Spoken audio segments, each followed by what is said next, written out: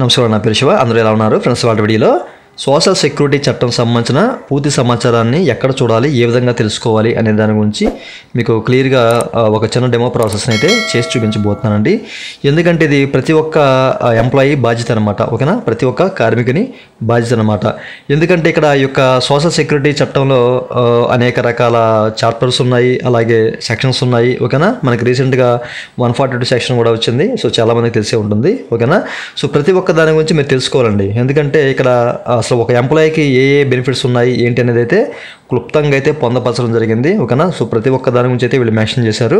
So మీరు క్లియర్గా చదువుకోవాలి ప్రతి ఒక్క దాని గురించి. ఓకేనా? మీకు అసలు ఏ బెనిఫిట్స్ ఉన్నాయి ఏంటి అని చెప్పేసి ఇక్కడైతే తెలుస్తాయి అనమాట అసలు ఈ యొక్క చట్టం గురించి ఏ విధంగా తెలుసుకోవాలంటే కనుక సో ఫస్ట్ ఆఫ్ ఆల్ మీరు ఏం చేస్తారంటే ఇక్కడ చూడొచ్చండి. ఈ యొక్క ఇండియన్ కోడ్ అనే వెబ్సైట్లోకి అయితే మీరు ఎంటర్ అవ్వాలి.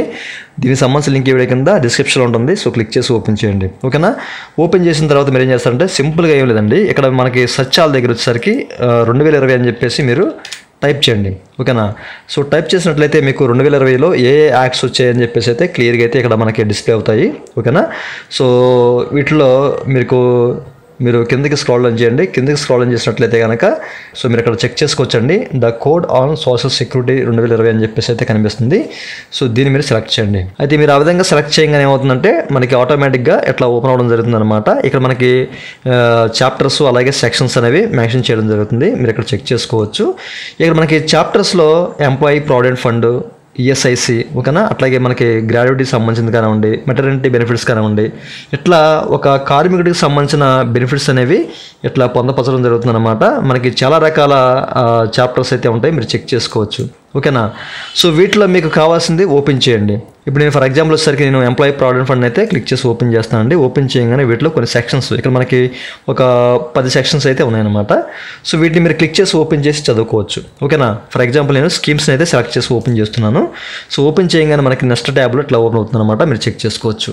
ఓకే సో ఇక్కడ మనకి అసలు ఈ యొక్క స్కీమ్స్లో మనకి ఈ యొక్క కోడ్ వచ్చిన తర్వాత మనకి కార్మిక మంత్రిత్వ శాఖ వారు ఏ స్కీమ్స్ తీసుకొచ్చారు ఏంటని చెప్పేసి అయితే క్లియర్గా మెన్షన్ చేశారన్నమాట. సో వీటిలో సూపరానేషన్ పెన్షన్ కానివ్వండి రిటైరింగ్ పెన్షన్ కానివ్వండి డిజేబిలిటీ పెన్షన్ కానివ్వండి ఓకేనా అట్లాగే విడో పెన్షన్ కానివ్వండి నామినేషన్ పెన్షన్ కానివ్వండి చిల్డ్రన్స్ పెన్షన్ కానివ్వండి లేకపోతే అనాథ పెన్షన్స్ కానివ్వండి ఇట్లాంటి ఇవన్నీ కూడా మెన్షన్ చేయడం జరిగింది అనమాట ఓకేనా ఈ కోడ్ వచ్చిన తర్వాత అంటే ఎవరైతే ఎంప్లాయీ చనిపోతారో చనిపోయిన తర్వాత ఎవరెవరికి పెన్షన్ వస్తుంది ఏంటి అట్లాగే ఏ విధమైన పెన్షన్ వస్తుంది అనే విషయాలు అయితే మనకి క్లియర్గా అయితే మెన్షన్ చేశారు.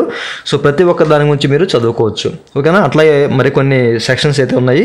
సో ప్రతి ఒక్క దాని గురించి మీరు చదువుకోవచ్చు అండి ఓకేనా? సో నేను ఇప్పుడు ఓపెన్ చేసి ఒక్కొక్కటి ఎక్స్ప్లెయిన్ చేయాలంటే కాస్త టైం అయితే పడుతుంది అంటే వీడియో అయితే లెంత్ అయిపోతుంది. బట్ మీరు ఏ విధంగా చూసుకోవచ్చు అనే దాని గురించి అయితే మీకు ఇక్కడ చెప్తున్నాను. సో మీరు వీటన్నిటి గురించి చదువుకోవచ్చు. ఓకేనా? మీకు ఒక నాలెడ్జ్ అయితే వస్తుంది.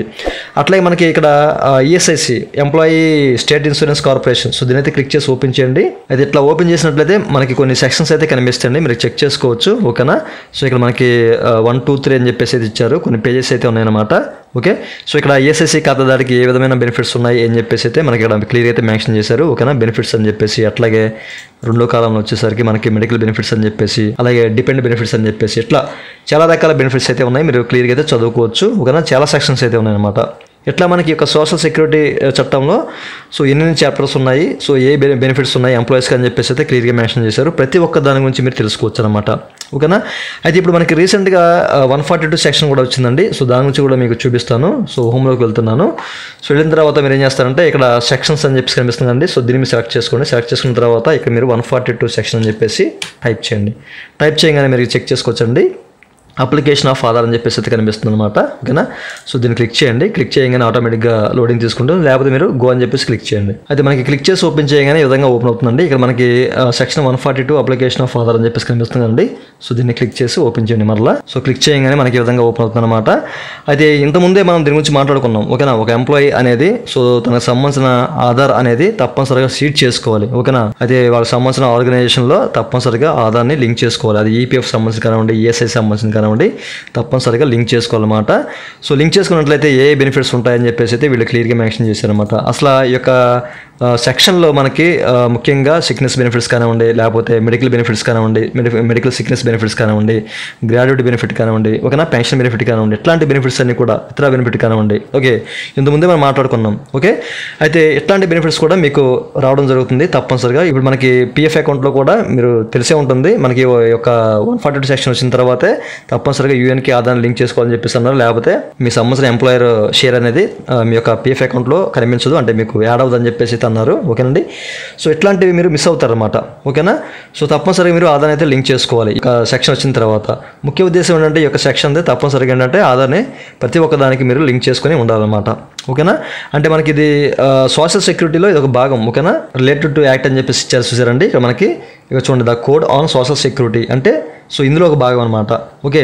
సో తప్పనిసరిగా ఏంటంటే ఆధార్ని మనం లింక్ చేసుకోవాలి ప్రతి ఒక్క దానికి ఓకేనండి ఈ విషయాలు మీకు క్లియర్ అర్థమే కదా? సో ప్రతి ఒక్క ఎంప్లాయీకి ఈ విషయాలు తెలియాలి అన్న ఉద్దేశంతో మీకు నేను ఈ విషయాన్ని చెప్తున్నాను. సో మీరు ప్రతి ఒక్క దాని గురించి క్లుప్తంగా తెలుసుకోండి.